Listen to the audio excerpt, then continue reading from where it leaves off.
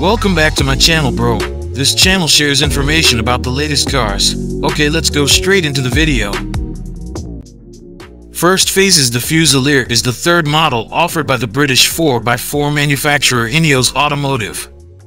Ineos Fusilier, the electric off-roader that British billionaire and chairman Sir Jim Ratcliffe had promised in mid-2022, is now aiming for a 2027 launch.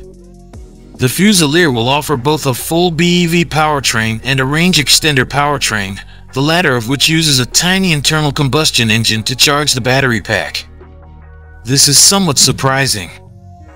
While Ineos did disclose that the Fusilier, an all-wheel drive vehicle with dual motors, will be built on a skateboard chassis and smaller than the Grenadier wagon and its pickup sibling, the Quartermaster, they did not provide any other technical details.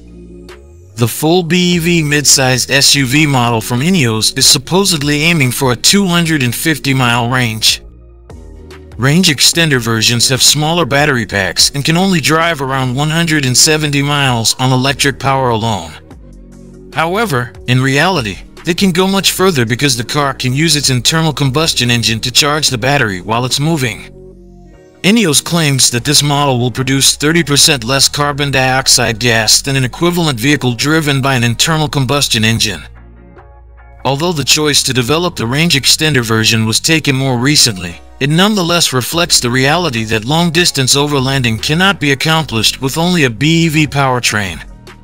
This is particularly the case in countries like the US, Africa, and Australia, where charging stations for EVs are severely lacking in more remote regions.